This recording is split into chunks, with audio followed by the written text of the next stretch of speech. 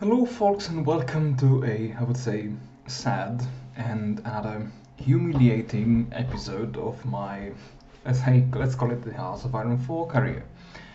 Um, I, I, I didn't want to to spoiler it in the um, in the title, but I will spoil, I, I will spoiler it now. Um, in this episode, um, I failed to capitulate Poland. I have no idea I mean, I, I, may have some ideas of why this um, did not happen, and this is why I, I, I decided to, to, to, record a 1939 only um, campaign.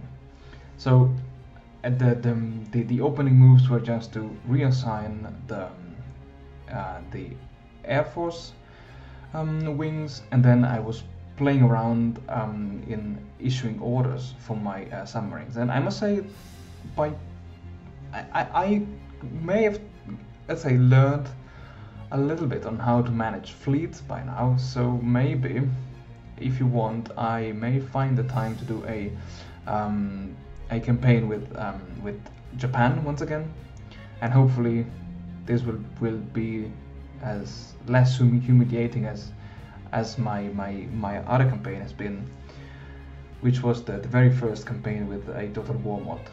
And so the liberation of Poland uh, did not start very well.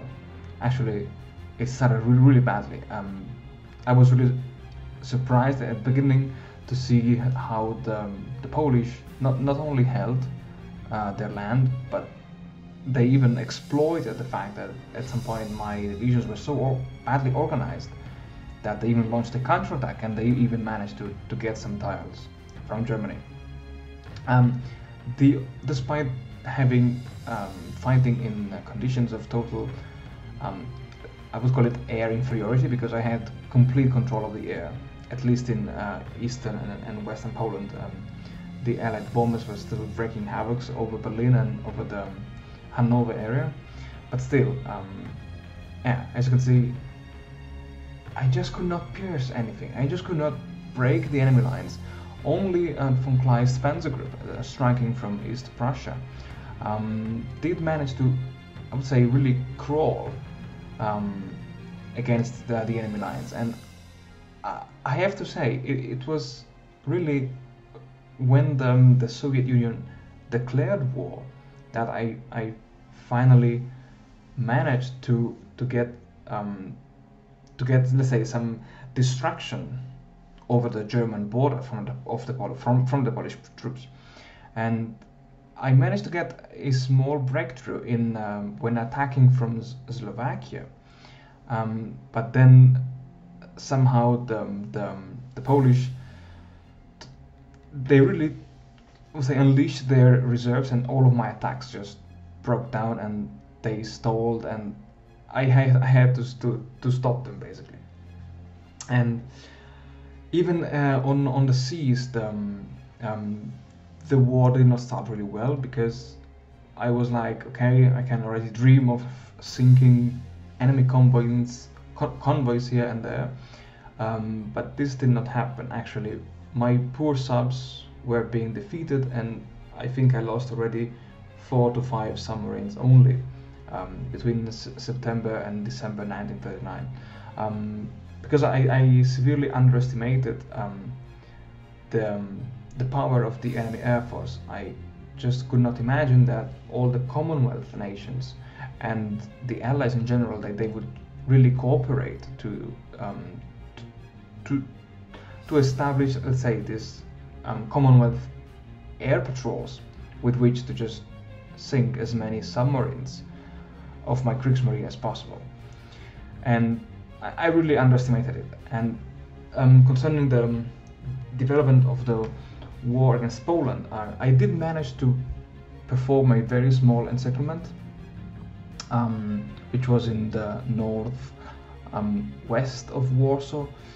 And here came my, my biggest mistake. I did not um, m- micromanage my, my, my troops, and I, I, just I just relied on the AI.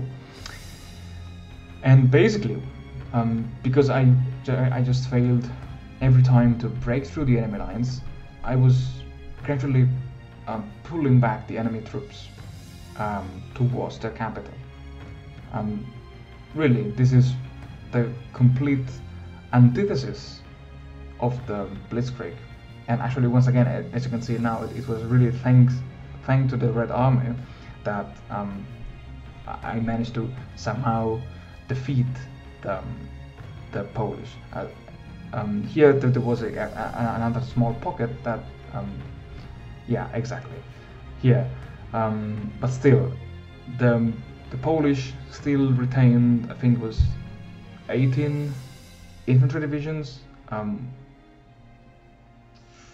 eight cavalry divisions, and at least two tank or mechanized, I, I, I forgot now, um, divisions in the Warsaw area. And th- this became a, a real nightmare for me because um, whenever I, try to launch an, um, an offensive in this sector, um, I, I, just failed and I just could not pierce it. I just could not do anything. Even the, the, the Red Army at this point could not do anything against it. Um, having having split the, the enemy troops now into uh, into into two branches, say, I, I focused my attention on uh, wiping out the eastern pocket, the one around um, the fortress of Brest-Litovsk, uh, and but but really, beside that, I, I just could not do anything. I, I set up attack plans, and yeah, so now the the only thing that I managed to do was to completely surround um, Warsaw. But whenever I I tried to um, attack Warsaw, let's say really head on, and there was just nothing that my, my troops could do. Um, maybe because of the national pride bonus, maybe because of my really my, my, my old and outdated equipment, the, the, the lack of um, support companies, the, the lack of land doctrines, maybe.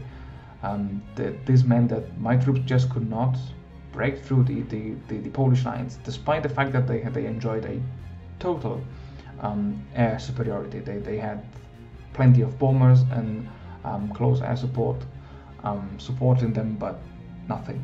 There was just freaking nothing and yeah so at, at the end um, when almost um, january 1940 hit i decided okay let's maybe i should just fall back a little bit and let the, um, the polish just um, abandon their fortified positions and maybe um, in the next episode i could try and attempt to defeat them. Who knows? Really. Yeah that's that's all from my side in this sad episode. You can even hear it from my voice. And take care, guys. And yeah, see you all very, very soon. I'm really sorry if I did not want to listen to your comments, but I was just too curious to see what would have happened. And yeah, now I saw what did happen.